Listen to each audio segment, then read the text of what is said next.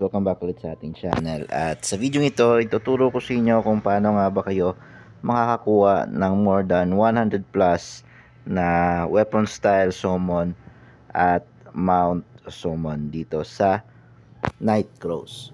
Okay? So, unang-una na dyan guys, uh, kung bagong create yung character nyo guys, makaka-receive kayo ng free 22 pieces ng uh, summon scroll. Okay? So, 11 dyan sa weapon style And then 11 naman dyan para sa Mount Summon. Okay? Uh, next dyan guys, makaka-receive din kayo nung uh, 11 times na summon. Okay, para doon sa reward sa first player na nakakuha ng mythical weapon at uh, mythical weapon style at uh, mythical mount. Okay? So, bali meron na kayong 33, uh, 33 doon. Okay? So, aside pa doon guys, makakuha din kayo ng summon sa mga uh, daily quest reward and achievement. So merong mga uh, summoning scrolls na binibigay dyan. Okay? Uh, tig isa, tig dalawa. Okay? And then aside doon, dito sa icon na to guys, dito sa pass. Okay? Makakuha kayo dyan ng uh, mga summon. Okay? Hindi nyo kailangan bumili ng uh, i-activate yung uh, premium pass. Yung normal pass lang guys, makakuha kayo ng uh, mga summon dito. Okay, ito yung Mount Summon. Yan, makakuha niyo siya ng libre. And then sa weapon style, makakuha rin kayo dito ng libre pag uh, na-achieve niyo yung specific level. Okay?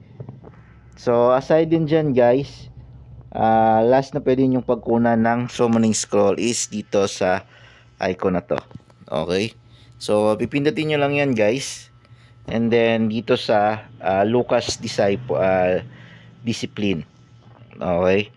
So, dito guys, makakuha kayo dito ng maraming ito yung pinakamalaking pagkukuha na ninyo ng uh, weapon style summon at mount summon scrolls.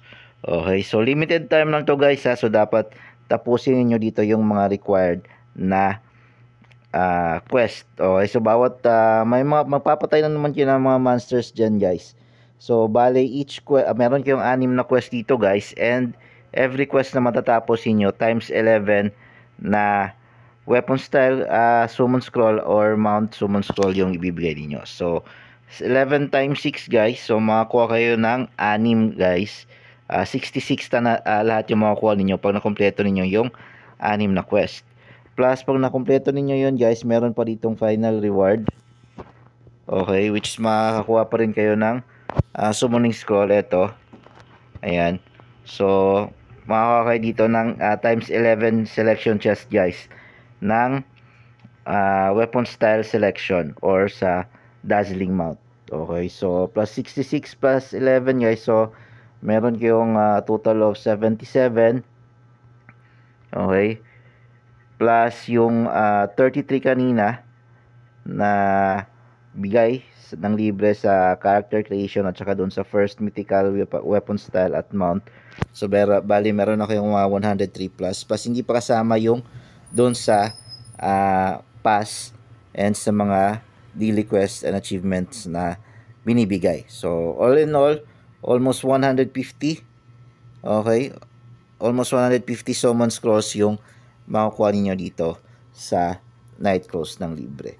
And sa tingin ko enough na yung 150 na yon na posible kayo makakuha ng either legendary kahit legendary or epic man lang na either weapon style or mount. Okay, so yun lang guys yung ways para makakuha kayo ng libre na mga summoning uh, ticket dito sa Night Cross. Maraming salamat sa panonood.